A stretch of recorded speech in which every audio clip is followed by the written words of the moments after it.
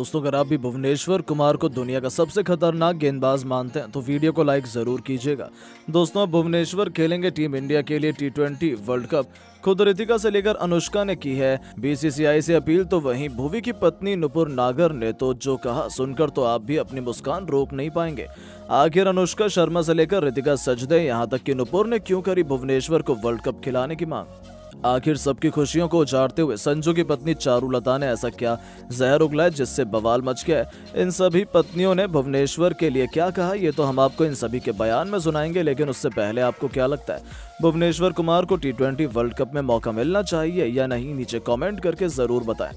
दोस्तों, Rajiv Gandhi international stadium में Sunrisers Hyderabad और राजस्थान रॉयल्स के बीच रोंगटे खड़े कर देने वाला मुकाबला देखने को मिला।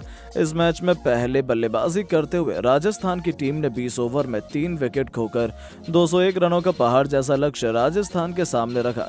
इस लक्ष्य का पीछा करने उतरी राजस्थान की टीम की शुरुआत बेहद खराब हुई। केवल एक रनों के स्कोर पर दो बल्लेबाज बिना खाता खोले पवेलियन लौट गए। लेकिन यशस्वी जायसवाल अभियान पराग ने मिलकर मैच को पलट दिया और अपनी टीम को जीत की दहलीज पर अंतिम ओवर तक पहुँचाया। अंतिम ओवर में खूंखार गेंदबाजी करते हुए भुवनेश्वर कुमार ने अपनी टीम को अंतिम गेंद पर विकेट लेकर एक रन से यादगार जीत दिलाई। हैदराबाद की ये कभी न भूलने वाली जीत देखकर मुझे पूरा स्टेडियम खुशी से झूम उठा। हर तरफ़ भुवनेश्वर कुमार के गेंदबाजों की तारीफ़ होने लगी। राजस्थान के खिलाड़ी बीच स्टेडियम में फूट फूट कर रोने लगे। हर खिलाड़ी के चेहरे पर हार का संकट झलक रहा था, लेकिन वहीं हैदराबाद के खिलाड़ी खुशी से झूम रहे थे। हर तरफ़ जश्न का माहौल था, वहीं भुवनेश्वर कुमार की कातिलाना गेंदबाजी देखकर भारतीय टीम के बड़े बड़े खिलाड़ियों की पत्नियों की, इनकी मुरीद हो गई और फिर भुवनेश्वर कुमार को टी वर्ल्ड कप में खिलाने के लिए मांग कर दी। तो वहीं संजू सैमसन ने पत्नी चारुलता ने राजस्थान की हार पर जहर उगल दिया और चलिए, अब हम आपको सभी पत्नियों के बयान को सुनाते हैं। क्या कुछ कहा है भुवनेश्वर कुमार के लिए? विराट कोहली की पत्नी अनुष्का शर्मा ने राजस्थान और हैदराबाद के बीच हुए मुकाबले में भुवनेश्वर कुमार की गेंदबाजी देखकर बयान देते हुए कहा है, वाह, हैदराबाद, आपके पास कमाल के गेंदबाज हैं, जिसने अंतिम ओवर में जीत दिलाई। मैं भुवनेश्वर की जितनी तारीफ़ करूँ, कम है। मुझे लगता है कि तो वे अपने पुराने रूप में आ चुके हैं। उन्हें टीम इंडिया में ज़रूर शामिल करना चाहिए। T twenty World Cup team को जीत सकते हैं, मुझे उन पर सबसे अधिक भरोसा है। वो अपने टाइम के सबसे स्टार गेंदबाज है मैं जितनी भी तारीफ़ करूँ, भुवनेश्वर की कम है। वो मेरे पसंदीदा गेंदबाज हैं। वही रोहित शर्मा की पत्नी रितिका ने भी भुवनेश्वर कुमार को लेकर बयान देते हुए कहा है कि मैं भुवनेश्वर की गेंदबाजी देखकर पूरी तरह से हैरान हूँ। जिस तरह से उन्होंने अपनी टीम को अंतिम गेंद पर जीत दिलाई, वो देखकर मैं पूरी तरह से दंग हो चुकी थी। हमने आज तक ऐसा मुकाबला नहीं देखा। भुवनेश्वर कुमार को टी वर्ल्ड कप के लिए टीम में ज़रूर शामिल करना चाहिए। वो टीम इंडिया को काफ़ी दिला सकते हैं। मुझे लगता है कि वो अपने पुराने रूप में आ चुके हैं। उनका फॉर्म शानदार है। आईपीएल का मैं जितनी तारीफ़ करूँ, कम है। वहीं भुवनेश्वर कुमार की पत्नी नुपुर नागर ने भी अपने पति के बयान देते हुए कहा है। मेरे पास अपने पति के लिए शब्द नहीं है। आज उन्होंने टीम के लिए अहम योगदान दिया। मैं चाहती हूँ कि उन्हें टी वर्ल्ड कप में शामिल किया जाए, ताकि वो भारत के लिए इस बार ट्रॉफी दिला सके। वो शानदार फॉर्म में चल रहे हैं, वो पूरी तरह से फिट हैं। उनका आईपीएल करियर इस बार काफ़ी शानदार रहा है। हैदराबाद के लिए कई विकेट झटके हैं। ये मेरी बीसीसीआई से पर्सनल गुजारिश है। वहीं राजस्थान की हार के बाद फूट फूट कर रोते हुए संजू की पत्नी चारुलता ने बयान देते हुए कहा है कि मैं टीम की हार से काफ़ी निराश हूँ, लेकिन इस मैच में हमारे सभी खिलाड़ियों ने तेज दिल जीत लिया, क्योंकि हैदराबाद ये मुकाबला ईमानदारी से जीती है। ट्रेविस हेड आउट थे, लेकिन एम्पायर ने उन्हें नॉट आउट दिया। ऐसी जीत हमें नहीं चाहिए। हम ईमानदारी के साथ खेलते हैं। हाँ भुवनेश्वर ने एक अच्छी गेंदबाजी की। उन्हें वर्ल्ड कप में जगह ज़रूर मिलनी चाहिए। शायद वो टीम इंडिया की ट्रॉफी भी दिला सकते हैं।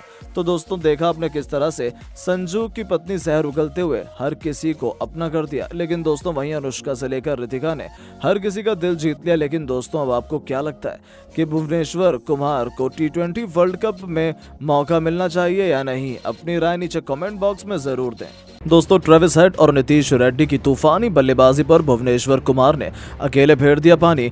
एक के बाद एक, कई बल्लेबाजों को पवेलियन का रास्ता दिखाकर तोड़ दी राजस्थान के बल्लेबाजों की कमर। तो आखिर राजस्थान को किस बल्लेबाज ने कराई मैच में बेहतरीन वापसी? किस खिलाड़ी ने बनाए? किस टीम के लिए सबसे अधिक रन? किस गेंदबाज ने लिए सबसे अधिक विकेट? इन दो टीमों में कौन बना इस मैच का हीरो? किस खिलाड़ी ने दिलाई अपनी टीम को कभी ना भूलने वाली जीत? दोनों टीमों के बीच खेले गए अंतिम ओवर तक रोमांचक मुकाबले की। पूरी हाईलाइट तो हम आपको ज़रूर दिखाएँगे, लेकिन उससे पहले आपको क्या लगता है? भुवनेश्वर कुमार को टी वर्ल्ड कप में मौका मिलना चाहिए था या नहीं? नीचे कमेंट करके ज़रूर बताएँ। दोस्तों आईपीएल का सबसे ज़बरदस्त मुकाबला राजीव गांधी इंटरनेशनल स्टेडियम में हैदराबाद और राजस्थान रॉयल्स के बीच खेला गया। इस मुकाबले में हैदराबाद में टॉस जीता और पहले बल्लेबाजी करने का फैसला किया और राजस्थान को गेंदबाजी करने के लिए आमंत्रित किया। हैदराबाद की तरफ़ से ओपनिंग की शुरुआत करने मैदान पर ट्रेविस हेड के साथ अभिषेक शर्मा आए। वहीं राजस्थान की तरफ़ से पहला ओवर लेकर आए टीम के सबसे खतरनाक तेज गेंदबाज ट्रेंड बोल्ट। इनका स्वागत ट्रेविस हेड ने पहली गेंद पर शानदार चौका लगाकर किया। हैदराबाद का स्कोर पहले ओवर में केवल छह रन बन पाया। दूसरा ओवर लेकर आए राजस्थान की तरफ़ से रविचंद्र अश्विन।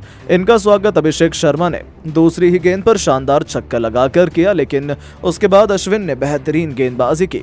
दो ओवर में हैदराबाद का स्कोर 14 रन बन पाया। राजस्थान की तरफ़ से तीसरा ओवर लेकर आए एक बार फिर।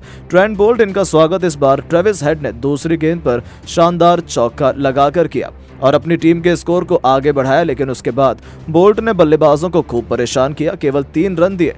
हैदराबाद का स्कोर तीन ओवर में 21 रन बन पाया, तभी तक ये मुकाबला बराबरी पे चल रहा था। राजस्थान की तरफ़ से चौथा ओवर लेकर आए। एक बार फिर अश्विन, इस ओवर में अश्विन ने अपनी फिरकी से बल्लेबाजों को खूब परेशान किया। अभिषेक शर्मा को उनकी गेंद बिल्कुल भी समझ नहीं आ रही थी और दोनों बल्लेबाजों ने इस ओवर में केवल चार रन बना दिए, जिसके कारण हैदराबाद का स्कोर चार ओवर में केवल पच्चीस रन बन पाया। टीम की शुरुआत बेहद धीमी हुई। राजस्थान के लिए पांचवा ओवर लेकर आए। टीम के बेहतरीन गेंदबाज आवेश खान और आते ही उन्होंने अपना शिकार अभिषेक शर्मा को बनाकर अपनी टीम को पहली सफलता केवल पच्चीस रनों के स्कोर पर दिलवा दी। अभिषेक शर्मा अपनी टीम के लिए नौ गेंद पर 12 रन बनाकर पवेलियन लौट गए और हैदराबाद को पहला झटका लग गया, लेकिन ट्रेविस हेड मैदान पर अभी भी टिके हुए थे। उनका साथ देने के लिए अब नए बल्लेबाज अनमोल प्रीत सिंह आ चुके थे। इन दोनों बल्लेबाजों के कंधों पर टीम की पूरी ज़िम्मेदारी आ चुकी थी। मैदान पर अनमोल आते ही आवेश खान की चौथी गेंद पर खतरनाक चौका लगाकर अपना खाता खोला। टीम का स्कोर को आगे बढ़ाया, वहीं आवेश खान की अंतिम गेंद पर ट्रेविस हेड ने जोरदार चौका लगाकर अपनी टीम के स्कोर को पाँच ओवर में पैंतीस रनों तक एक विकेट पर पहुँचा राजस्थान रॉयल्स को एक बार फिर विकेट की तलाश थी और बॉलिंग स्पीड में बदलाव करते हुए कप्तान संजू सैमसन ने गेंद अपनी टीम के स्टार गेंदबाज संदीप शर्मा को थमाई। और संदीप शर्मा आते ही पहली गेंद पर अपना शिकार अनमोल प्रीत सिंह को बना लिए और हैदराबाद को दूसरा झटका देकर 35 रनों के स्कोर पर कमर तोड़ दी। अनमोल प्रीत सिंह कुछ खास नहीं कर पाए, केवल पाँच रन बनाकर पवेलियन की शोभा बढ़ाने चले गए। हैदराबाद की पारी इस मैच में डगमगाती हुई नज़र आ रही थी, लेकिन अब ट्रेविस हेड का साथ देने के लिए मैदान पर नीतीश रेड्डी आ चुके थे। इन दोनों खिलाड़ियों के कंधों पर टीम की पूरी ज़िम्मेदारी आ चुकी थी। हैदराबाद का स्कोर पावर प्ले के छह ओवर में केवल सैंतीस रन दो विकेट पर बन पाया। इन दोनों दोनों बल्लेबाजों ने मिलकर धीरे धीरे अपनी टीम के स्कोर को आगे बढ़ाया और पारी को संभाला और अपनी टीम के स्कोर को नौ ओवर में 50 रनों के पार पहुँचाया। वहीं ट्रेविस हेड अपने अर्धशतक के करीब आ गए। ये अकेले टीम को संभाल रहे थे। देखते ही देखते उन्होंने अपना अर्धशतक केवल अड़तीस गेंद पर ठोक दिया। नीतीश रेड्डी का भी बल्ला खूब दहाड़ रहा था। दोनों बल्लेबाजों ने मिलकर पचास रनों से अधिक की साझेदारी बना ली और अपनी टीम के स्कोर को बारह ओवर में ही सौ रनों के पार पहुँचा दिया। टीम के लिए तेरवा ओवर लेकर आए युजवेंद्र चहल के ओवर में नीतीश रेड्डी ने दो खतरनाक छक्के और दो चौके जड़कर 21 रन बटोर लिए और अपनी टीम को 13 ओवर में 113 रनों तक पहुँचा दिया। इसके बाद भी दोनों खिलाड़ी रुके नहीं, अपना प्रचंड रूप दिखाना शुरू कर दिया। टीम के स्कोर को तेज़ी से आगे बढ़ाने लगे, लेकिन तभी टीम के लिए पंद्रवा ओवर लेकर आए आवेश खान। इनका स्वागत ट्रेविस हेड ने पहली गेंद पर शानदार छक्का लगाकर किया, लेकिन इस छक्के का बदला लेते हुए आवेश खान ने अपने ओवर की चौथी गेंद पर हेड को क्लीन बोल्ड कर पवेलियन का रास्ता दिखा दिया और अपनी टीम को तीसरी सफलता एक रनों के स्कोर पर दिला दी। हैदराबाद को बहुत बड़ा झटका लग गया। ट्रेविस हेड अट्ठावन रन बनाकर पवेलियन लौट गए। अब मैदान पर नीतीश रेड्डी का साथ देने हेनरी क्लासेन आ चुके थे। वहीं नीतीश रेड्डी ने अपना तूफानी अर्धशतक भी ठोक दिया। राजस्थान की तरफ़ से एक बार फिर सत्रहवा ओवर लेकर आए युजवेंद्र चहल। इस ओवर में हेनरी क्लासेन ने उनकी जमकर कुटाई कर दी। लगातार दो गेंद पर दो छक्के चढ़ दिए और अपनी टीम को डेढ़ रनों के पार पहुँचा दिया। इसके बाद भी दोनों खिलाड़ियों का बल्ला रुका नहीं। एक के बाद एक कई चौके छक्के लगाए और अपनी टीम के स्कोर को 18 ओवर में एक रनों तक तीन विकेट पर ही पहुँचा दिया। और इन दोनों खिलाड़ियों के बीच 50 रनों से अधिक की साझेदारी हो गई। हैदराबाद का स्कोर 200 की तरफ़ बढ़ रहा था। टीम के लिए 19वां ओवर लेकर आए बोल्ट इस ओवर में हैदराबाद के बल्लेबाजों ने 12 रन बटोर अपनी टीम को 19 ओवर में एक सौ छियासी रनों तक पहुँचा दिया। अंतिम ओवर राजस्थान के लिए लेकर आए संदीप शर्मा। बेहद ही खतरनाक गेंदबाजी का नज़ारा दिखाया, लेकिन हेनरी क्लासेन ने इस ओवर से 15 रन बटोरकर राजस्थान के सामने 201 रनों का पहाड़ जैसा लक्ष्य खड़ा कर दिया। राजस्थान को यह लक्ष्य हासिल करना इतना आसान नहीं था। टीम की तरफ़ से ओपनिंग की शुरुआत करने मैदान पर जॉस बटलर के साथ यशस्वी जायसवाल आए। वहीं हैदराबाद के लिए पहले ओवर लेकर आए भुवनेश्वर कुमार, और आते ही उन्होंने अपने ओवर की दूसरी गेंद पर अपना शिकार जॉस बटलर को बनाकर अपनी टीम को पहली सफलता।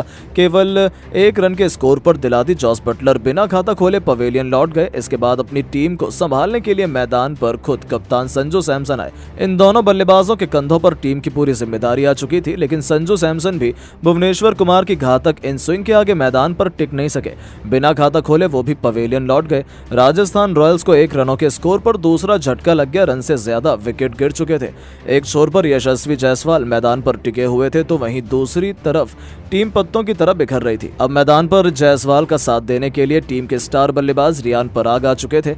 एक ओवर में राजस्थान का स्कोर केवल एक रन, दो विकेट पर बन पाया था। हैदराबाद की तरफ़ से दूसरा ओवर लेकर आए मार्क स्टोइनिस मार्क जॉनसन, लेकिन इनका स्वागत यशस्वी जायसवाल ने। तीसरी गेंद पर शानदार चौका लगाकर किया और अपना खाता खोला। टीम के स्कोर को आगे बढ़ाया दो ओवर में। राजस्थान की टीम ने केवल छह रन बनाए। हैदराबाद की तरफ़ से तीसरा ओवर लेकर आए एक बार फिर भुवनेश्वर कुमार। इस बार इनका स्वागत रियान पराग ने तीसरी गेंद पर शानदार चौका लगाकर किया और फिर उसके बाद चौथी गेंद पर खतरनाक अंदाज में छक्का जड़ा और अपनी टीम के स्कोर को तेज़ी से आगे बढ़ाया। इसके बाद भी पराग रुके नहीं, अंतिम गेंद पर भी शानदार चौका लगाकर अपनी टीम को तीन ओवर में 21 रनों तक पहुँचा दिया। हैदराबाद की तरफ़ से चौथा ओवर लेकर आए एक बार फिर।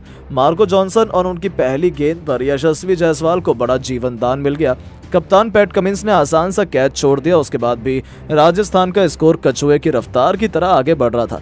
लेकिन मार्को जॉनसन की पांचवी और अंतिम गेंद पर जायसवाल ने दो चौके जड़कर अपनी टीम को चार ओवर में 35 रनों तक पहुँचा दिया। हैदराबाद की तरफ़ से पांचवा ओवर लेकर आए खुद टीम के कप्तान पैट कमिंस। इनका स्वागत जायसवाल ने एक बार फिर दूसरी गेंद पर शानदार चौका लगाकर किया।